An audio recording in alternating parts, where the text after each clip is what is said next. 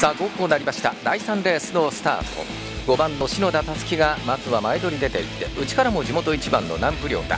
さらには最外からは7番の安藤秀弘で九州ラインが3者前段に布陣していきます。3番の古田義明は中部1社。ここは切れ目をまずは回って様子を見てといったところでしょう。5番抵抗には2番の船瀬淳平4番の土井勲。6番車の船引義行と連なっていきます中四国ラインです。1周回目3コーナー回るところでは3対1対31列棒状となっています。正攻法は5番の篠田です。果敢に仕掛けてレースを作っていくタイプ後ろ足部長安藤。番手で篠田の奮起を促していきます。この大分コンビの3番手予選突破を狙っていくのが地元1番の南部亮太です。3番の古田が切れ目4番手にいましてそして2番の船瀬は初手は後ろ攻め5番手です。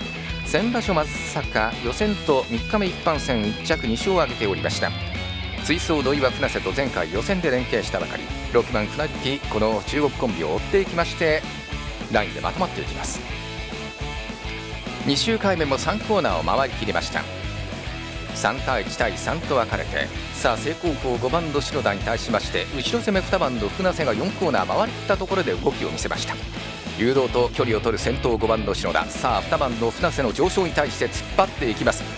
誘導が切ったのを確認しまして2番の船瀬はひとまず車をじわりと外バンク5番手さあすかさず仕掛けていくか。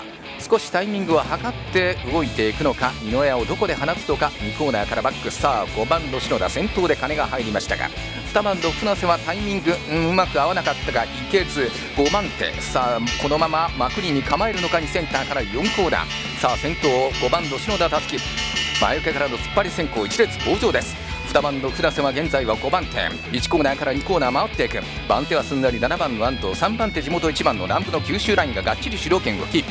2コーナーからバックへ向かっていきます。さあバックストレート。遅めのまくりか2番の船瀬。4番手3番手と位置を上げていきます。さあ九州勢。上位6戦なるか迫る2番の船瀬。7番の安藤が外へと張っていく。それでも船瀬か。あるいは7番の安藤抜け出しか。7番の安藤そして2番の船瀬か。第3レースは A 級予選競争3組目です。5番の篠田達樹が突っ張ってレースをしっかり作りました。7番の安藤が番手。遅めのまくり。2番の船瀬。伸ばしてきたところブロックしつつ追い込んでいきましてわずかの差で先着は7番の安藤秀弘。